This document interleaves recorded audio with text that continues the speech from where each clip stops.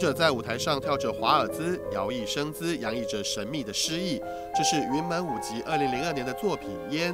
刘怀民当年在欧洲巡回演出时，一口气看完作家普鲁斯特的《追忆似水年华》，而编写了这个舞作《烟》，将为舞到秋天揭开序幕。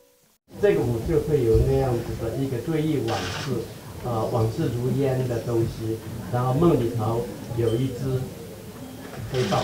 那那个豹子从头到尾就像一个不祥的、充满了性的魅力的一个象征一样。啊，他永远在那里，他永远在那里，然后看着这些人来来去去。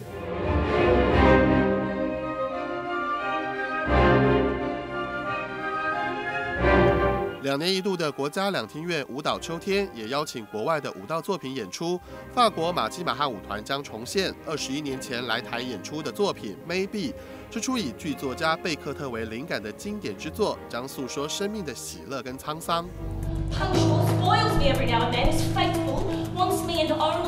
澳洲快动舞团也在作品《归属习题》中探讨全球化的网络世代为了生存，如何在日常生活中战斗，向身份认同进行大胆又幽默的探索。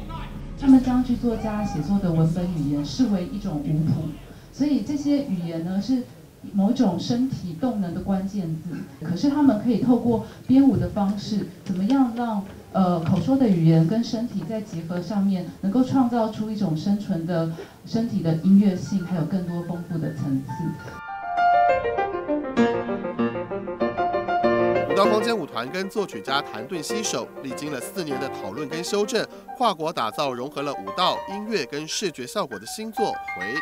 我们希望做一个作品，能够全部用他的曲子。那这个四年当中呢，其实我们谈了很多。谭盾是一个非常有想法、非常有创意的音乐家，所以他每一次弹的结果都很不一样。所以我们的会议从纽约，然后到巴黎，到阿姆斯特丹，我们的计划也不断的改变。所以呢，这个作品就变成了一个跨六个国家、有十个创作者共同的作品。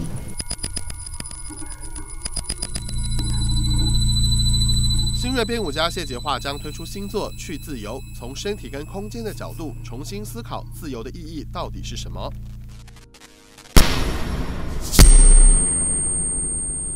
被美国舞蹈杂志评选为全球二十五位最受瞩目舞蹈工作者的黄奕，将延续他的舞蹈实验，推出包括雾跟地平面以下等创作，继续探索身体跟声音以及跟影子之间的关系。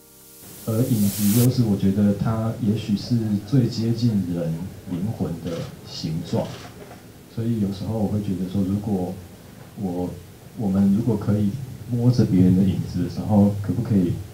听到他在想什么，或者是我们两个人的影子叠在一起的时候，是不是有可能有什么样子的交流？人的影子在墙壁上的影子跟真正的影子。融合在一起的时候，它可以产生多少种比较接近我们内在的思考的样子？汇集了国内外的精彩舞作，游走在不同风格的创作中，在浓浓的秋意间，用心感受舞蹈。